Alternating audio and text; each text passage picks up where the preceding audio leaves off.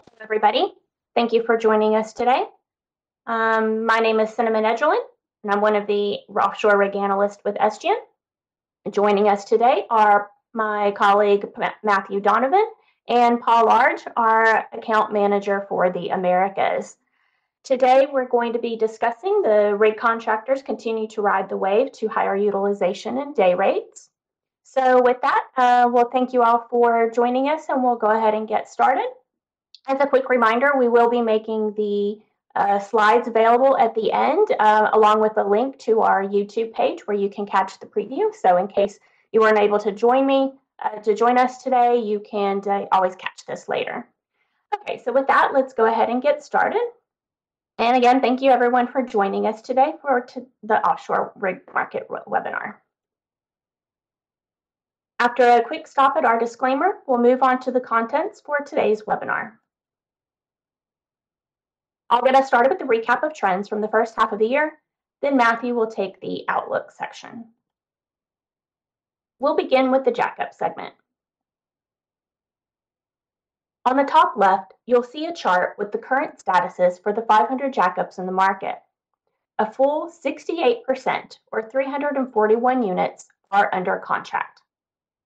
Of the 24 units undergoing repairs, reactivations, or surveys, all but five already have work lined up. In addition, we understand one of the uncommitted five has recently been selected for a job and expects to be finalized soon, further reducing the number of available jackups in the market. The Middle East continues to dominate the jackup market, with about 145 units currently under contract. Plus, there's a steady pipeline of units purchased over the past year that will extend its working count as they finish preparations and crewing and begin their assignments. This situation has led to a tight market, in particular for premium jackups. In turn, we're seeing increased interest in lower spec units in regions where it has become more difficult to find premium rigs. As a result, day rates are increasing globally. On the bottom left of this slide is a table with a few select jackup fixtures from the first half of this year, along with their estimated day rates. The one I'll highlight now is Noble Lloyd Noble, which secured a rate of about 225,000 for harsh environment work off Norway. On this slide, we'll take a look at the climbing utilization rate. When considering units under contract now and those with future commitments, the utilization for marketed jackups has reached 96%, which is extremely tight. The dark blue portion of the bars represents units under contract that month, and the lighter blue bar represents units with future commitments. If you extend the look back to a full year, our data shows that the total jackup supply has only decreased by four, while the number of competitive or marketed units is up by 12, and the number of jackups with contracts has grown by 19. These are all indicators that demand has increased more than the supply has decreased, and previously stacked units are making a comeback, not on speculation, but with contracts in hand. We have one last slide on jackup trends from the first half of this year. This chart is showing new contracts or extensions in dark blue exercised options in lighter blue, and the red dot represents the average duration of contracts confirmed during that half of the year.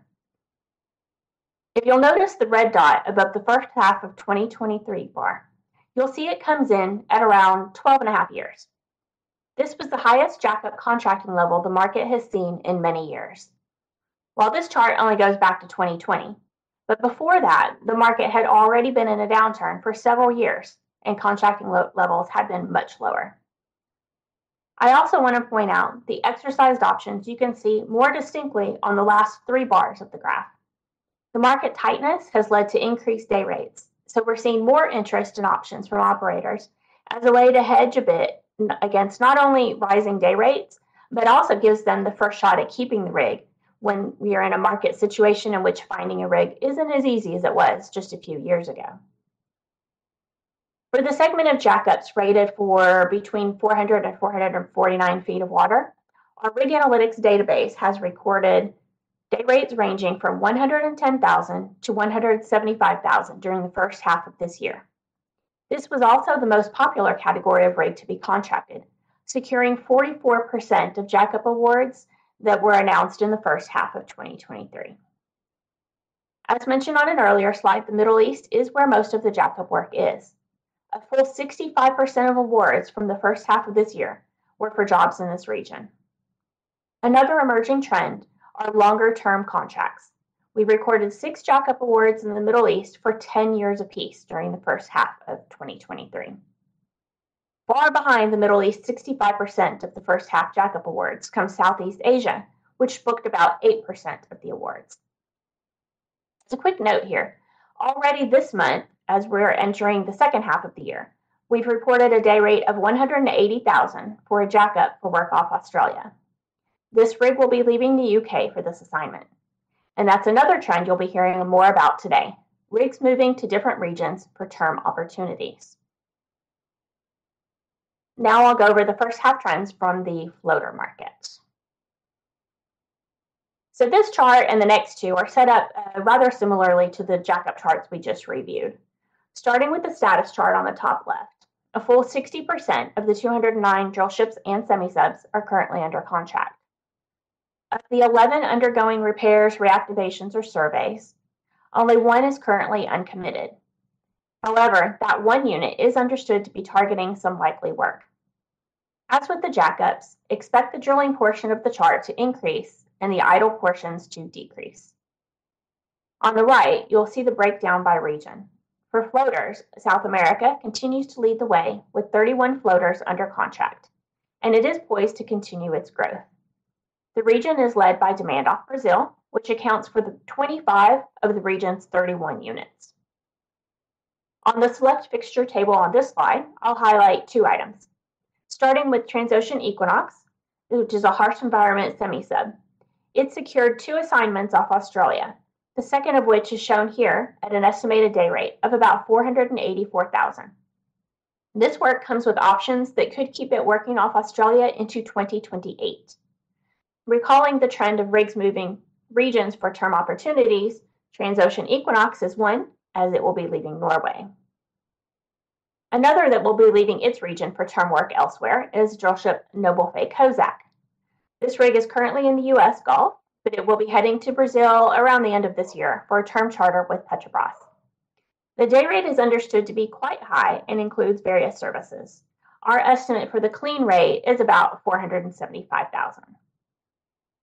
One last note on this slide is that one of these rigs just arrived at a new region, and the other four will soon be heading to different regions. So we expect to see a lot more rig moves uh, as a result of the tight market. Now, similar to the jackup segment, the marketed floater utilization rate is quite high at 87%, with certain categories such as the seventh gen drill ships and the sixth generation harsh environment semi subs nearly fully booked for the rest of this year and at least partway into next year. Reviewing the year ago trends, our data shows that floater supply has only dropped by two units while the competitive or marketed supply has risen by four from a year ago, and the contracted count is up by nine from June 2022. As with the similar jackup slide, these figures show how tight the market is, with few rigs leaving supply and more being reactivated for work. On this slide, I've divided the floater fixture trends in charts into one for drill ships and one for semi-subs. Beginning with the drill ships on the top right, not only is the overall trend for durations increasing, but so are the numbers of options being exercised. Interestingly, for the past few years, the second half of each year has had more contract fixtures than the first half. Should this hold true this year, and given that there are about 17 rig years of tenders open from Petrobras for work off Brazil that are expected to be awarded this year, the drillship segment is poised to have a strong second half of the year in terms of contracting. For the semi-sub chart, the red dots show that durations have also been trending up for this rig segment. As with drillships and jackups, we're seeing an increase in exercised options. The average day rate chart on the left shows where the market started seeing a distinct rise in day rates in 2022, and this correlates to the rise in exercised options as the market tightened and operators began increasing not only the number of open tenders but also the terms. As a final point on this slide, we are seeing many of the legacy options that were pre-priced at much lower rates dropping off. Instead, recent options are increasingly noted as being at market rates. Even though the operator may still be paying the market rate when they exercise their option, the option does provide them with an opportunity to secure the rig before others can do so. So that's it for the first half of the 2023 trends. Matthew will take it here with our outlook. Thank you very much, Cinnamon. Uh, turning now to uh, forecast utilization for jackups. As we mentioned earlier, we're seeing very limited near-term availability of premium jackups worldwide, and we're expecting global utilization for the jackup fleet to remain high over the next several years due to long-term contracts in key areas. Uh, we're seeing hotspots for jackup demand include the Middle East, India, China, Southeast Asia, and Mexico, while there will be more flat demand in the smaller regions such as the US Gulf of Mexico and South America. And uh, one note with this, while demand remains high, there are some aging units that are likely to exit the competitive jackup fleet over the next several years. Those will largely be replaced by new builds entering the fleet and reactivated units.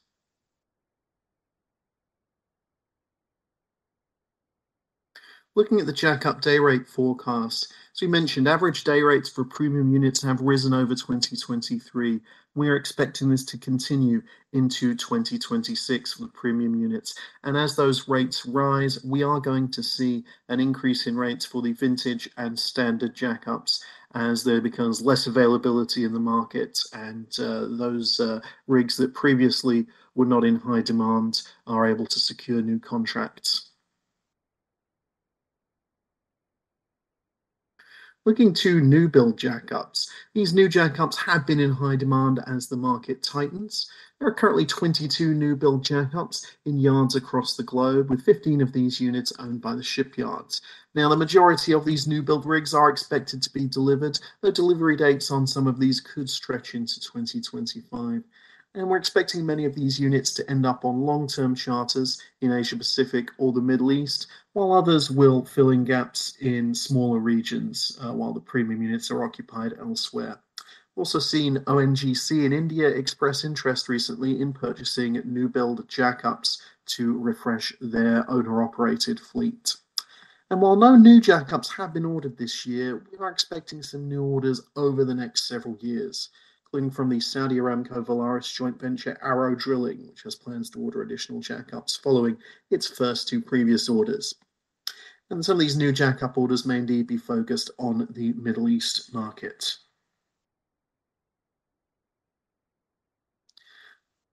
Looking at the market as a whole, some jackup trends to watch, and pointing out that current tenders and pre-tenders for jackups worldwide total around 88 rig years, so still plenty of upcoming demand for these units. Middle East will remain the largest market for jackups, and we're expecting that ramp up of recently purchased rigs starting multi-year contracts to continue over 2023. Something to note from the Middle East is recently there we've seen jackups being signed to terms of up to 10 years. Uh, we've already seen five-year contracts in the region and now recently 10-year contracts signed. So that's going to drive continued tightness in premium units in other regions across the globe. Turning to Mexico, local operators there may show some hesitation in signing new long term contracts for jackups ahead of the upcoming 2024 election, but there is potential for more rigs to move into the country, uh, including from some international uh, uh, operators. In India, there are a large number of tenders open with the state oil company ONGC. The market is watching these closely as day rates here are typically low compared to other areas, so we'll be interested to see where these land in a time of rising day rates. And in West Africa, we've seen some smaller operators report difficulties in securing jackups for shorter term work in West Africa. The long term contracts in other areas and the rising day rates can make it difficult for smaller operators to secure rigs for short one to two well contracts. Turning now to the floating rig outlook. For uh, floating rigs, high spec ships and sixth generation semi submersibles are basically sold out for the remainder of 2023. We're seeing hotspots for demand around the globe, including Brazil, Australia, and Namibia. And such is the uh, tightness in demand right now that there are many programs that will likely need to be delayed due to supply constraints. There's over 90 rig years still open for 2024 start dates, so entirely possible that some of those may be pushed further into the future and rescheduled. And new reactivations for cold stacked units are estimated at over one year, so it will be difficult to meet near term supply uh, with reactivations beginning this year. We're seeing operators start to look further ahead with tenders for contract starts in 2026 and drilling contractor Transocean Realty announced a contract for start between late 2025 and the first half of 2026. So, with more long term tenders for floating rigs coming out, we should expect to see more direct negotiations, rig share agreements, and sublets as contractors and operators deal with the tight supply situation. For the floating rig day rate forecast, we've seen leading edge day rates for the largest floating rigs are already in the high 400,000, and that goes both for seventh gen drill ships and for the sixth gen harsh environment semi submersibles. So we're moving towards that 500,000 mark uh, for day rates. Uh, it's likely we'll see a fixture in that uh, range by late 2023 or early 2024. We're expecting those day rates to continue to rise over the next several years for the uh, top rigs. And as we said earlier, that will also lead to rising day rates uh, for uh, some lower spec units in the market. Look at new build floating rigs now. The new build supply is fairly limited for these. There's 20 new build floating rigs remaining worldwide. No deliveries in 2023 to date. Uh, nine of these units are owned by the shipyards, though some already have management agreements with drilling contractors in place. And the top level new builds are being bought up. Eldorado Drilling purchased the Pacific Zonda and West Dorado this year, and the remaining seventh gen drill ships are likely to be purchased or bareboat chartered in the near future. Uh, we've seen several new builds bid into tenders already, and the uh, new build Stena Evolution recently secured a five year contract in the US Gulf of Mexico ahead of its delivery. Uh, however, most of the other new builds have not yet secured contracts ahead of their delivery date. Now, all of these rigs were ordered prior to 2014. We expect most to be delivered within the next one to three years, although some of the drill ships that are below seventh generation or the semi submersibles that are non harsh environment units may not be completed as actual drilling rigs. A possibility those could be uh, turned into other assets. And we've not seen drilling contractors or investors yet begin to order new floating rigs for the market.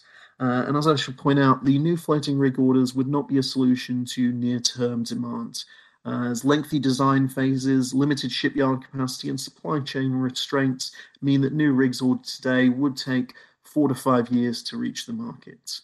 And so far, the contractor focus primarily remains on disciplined reactivations, and that includes having uh, clients pay for the reactivation of cold stacked units and also filling in the gaps between their working rigs contracts. Looking now to specific market, we've got Latin America. Now, Latin America floats a backlog, totals 93 rig years, and 71 of those years do come from Brazil.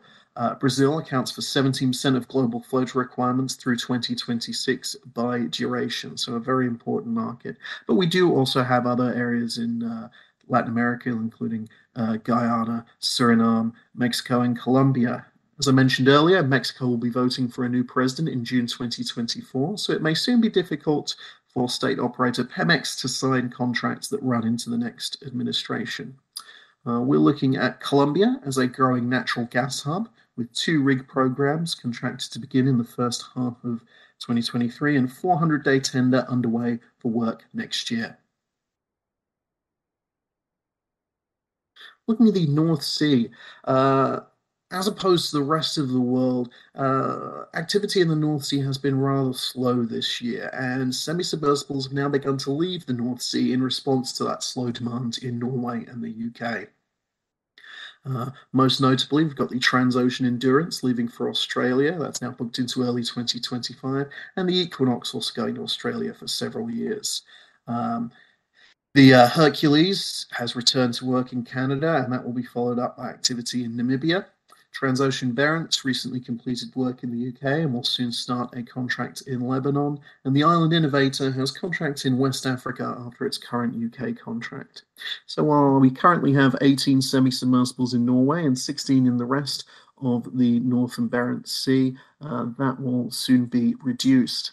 Now, the need for harsh environment rigs in the North Sea as a whole and rigs with acknowledgements of compliance for rigs in Norway means there is a limited pool of these units to draw on for work. And many of these units that are being contracted out of the region uh, will not be returning anytime soon. So, with the current supply in the region largely booked through 2024, we'll see additional demand in Norway is likely to result in high day rates for new fixtures. And Australia, as we mentioned, has been absorbing rigs from other regions. Currently, three semi submersibles contracted into 2024 and 2025, and nearly 2.5 rig years uh, of work were booked in the first half of 2023. There's also upcoming planned and possible requirements in the region, mostly for Australia and one for Papua New Guinea. Um, addition to the rigs currently in the area, Ocean Apex will be returning to Australia this year with over 1.5 years of work lined up. And as we mentioned earlier, the Endurance and Equinox are coming to Australia from Europe.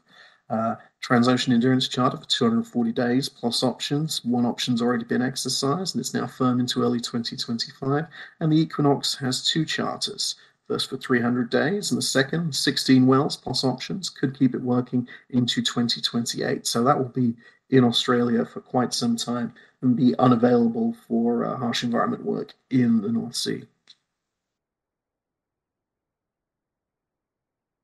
Okay, now moving on to our key takeaways from our presentation today. Uh, rig supply is going to remain tight, especially for premium units, and that goes for both jackups and floating rigs.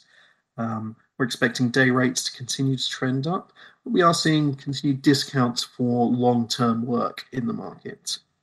And um, some opportunities remain for lower spec floating rigs and jackups as fewer premium rigs are available. Right, thank you very much, everyone, for the present for listening to our presentation today. I think we do have time uh, for some questions. Thank you, Cinnamon Matthew. Um, a lot of uh, great information and insight there from the Esgian team. Uh, we have received uh, two or three questions uh, through the presentation, so I'll just go through a couple of them. If we now we've got a couple of minutes. Um, are we on pace to see the same number of rig sales as we did last year? Uh, thanks, Paul. Um, I'll take that one. Um, I, would say the answer to that is no, we are not. Um, we saw a lot of jackup sales uh, specifically for the Middle East last year. Um, those are now going through the process of being absorbed, so mobilized, inspected, reactivated in some cases, and crewed. Um, so there's less of a focus on uh, purchasing additional units just now. And we also saw a few large deals go through last year, like the Noble Maersk uh, merger, which ended up including some acquisitions by Shelf North Sea. Um, but as Matthew mentioned in his part of the presentation, we have seen a couple of the new build drill ships get picked up. And I expect we'll see some more of that before the year is out. Not just the drill ships, but some new build jackups as well. There's a lot of interest in those units. So, yeah, I think we won't see as many as last year, but we'll still see some individual uh, targeted transactions. I had a couple of questions around uh, sort of forecast on West Africa. So, um, recent discoveries in Namibia, how has that affected mm. the outlook for West Africa? Yeah, I mean, it's definitely we've uh, Shell's had a, announced a number of recent discoveries in Namibia's Orange Basin. They're currently conducting a drilling campaign there, and uh, Total Energies is also following up from some of their previous discoveries there. So it's been the Orange Basin in Namibia has been introduced. Um, been generating a lot of interest, um, especially after the uh, after these recent discoveries. So what we're seeing now is um, multiple uh, companies planning further activity in the region. We're seeing rigs being built, uh, being bid aggressively into jobs in Namibia or for programs in West Africa with Namibia as one option. So we should see an increase in units working there. Um, and uh, I think what's also interesting to note is Orange Basin typically requires uh, high spec units and in some case harsh environment units. So that's going to be pulling from the uh, same pool as uh, a lot of the rigs that we've seen recently in high demand. Okay. Just one last one before we close the, the 30 minutes is uh, switching regions to the Middle East. We had a question regarding um, is it common now with the tight supply that operators are paying for jack-up movement, for, you know, re- relocation and reactivation fees? Mm-hmm. Um, I can take that for you, Paul. Um, the answer to that is is basically it depends on where we are in the cycle. Um, this is a very cyclical industry. As uh, as the market tightens and availability comes less, then yes, the operators do typically take on some of those um, additional costs of moving it or reactivating it, for instance.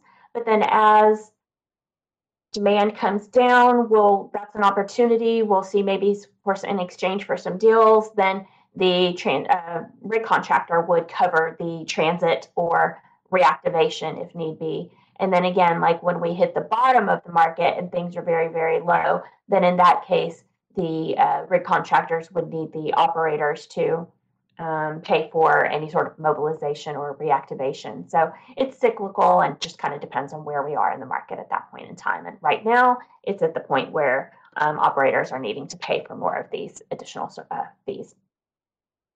Great.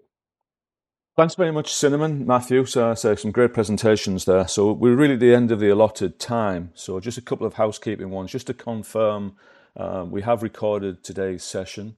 Um, so we'll be reaching out to everyone um, later this week, where we post the um, the recording and a copy of the slide decks to everybody. I'd like to thank everybody again for for taking the time of attending uh, today, and um, this confirms and concludes the end of today's presentation. Thank you, everybody.